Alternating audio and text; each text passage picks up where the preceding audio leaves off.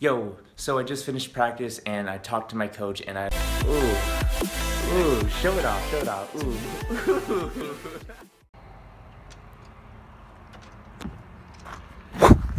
Yo, yo, yo, yo, yo, it's Steve Burstyn coming at you through the microphone. You already know what it is. It's day 60. So today we have practice and it's a beautiful day today. It's about 20 degrees.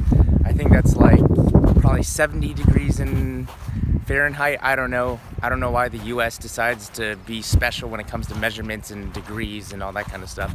But anyways, today's a very, very simple day. We're just gonna have a simple training practice, probably about tactics, something slow movement, doing free kicks, doing penalty kicks. I'm just going to be asking my coach today about my role on the team for tomorrow since I'll be playing that center defensive mid, center back role. I talked it out with Steve, the goalkeeper, and he helped me out in terms of like what he saw uh, needs to be improved in that center defensive mid role, especially about the center defensive mid sometimes gets caught up too high, and then there's a pocket of space uh, in between the midfielders and the defenders. So I need to plug up that gap and make sure that we stay compact and stay together.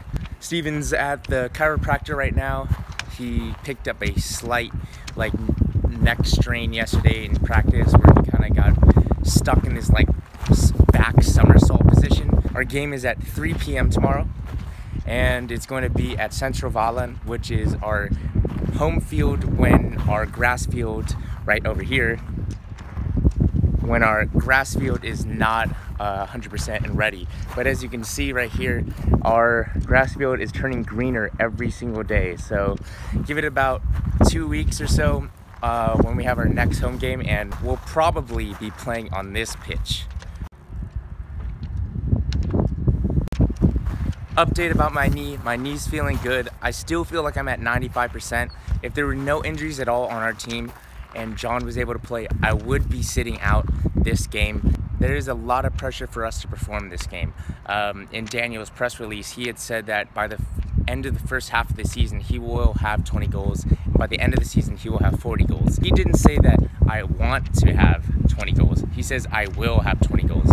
For, so for him, he put the pressure on himself to perform and get the goals that's needed for this team to win the league and gain promotion.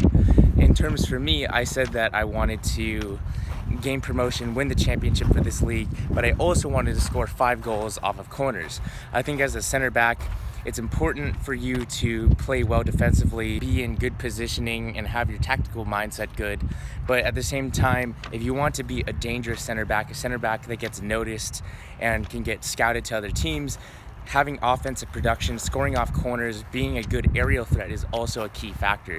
So for me, I said that I want to help the team and I want to get five goals this season, specifically off of corners because I want to get into the box, I want to jump over players, and I want to just slam in some goals and get some extra offensive production. Other than that, right now, I'm just to be chilling with Diego and Daniel. We're to be playing some FIFA because that's what we do. Yo, so I just finished practice and I talked to my coach and I let him know that I can't play tomorrow's game. Um, I'm as disappointed as you guys. I really do want to play the game, but just I just don't feel 100%. Physically, I'm about 5 to 10% off. Mentally, I'm about 50% off, and my body and my mind just aren't connecting together. And the way I want to move, the way I want to play, just is not happening right now. I'm gonna go into this next week of practice, I'm gonna work hard, do my rehab, and just get focused and get refined so that I can go and play the second game. Um, I'm disappointed that I can't play the home opener, especially in front of a home crowd, especially right after a press release of all things. But at the end of the day, I have to think about my career, I have to think about the longevity of the season, and it's not worth risking uh, aggravating my injury or you know getting injured more. So I decided to take myself out of tomorrow's game. And yeah, I just wanted to let you guys know. I will insert a link in the description about if you want to watch the game. There is a paywall. That means you have to pay to watch the game. The reason being is this is actually being aired through the television network and not through our own live streaming. All of our games after that will be through our own live streaming and that will be free, but tomorrow's game is going to be through a TV network. So I'll insert the link into the description. I think it's like $5 if you guys want to go and watch that game. I won't be playing. So if you guys are still interested in watching it, I'll try and see if I can get the footage, maybe show the goals or do a little match analysis. We'll see what happens.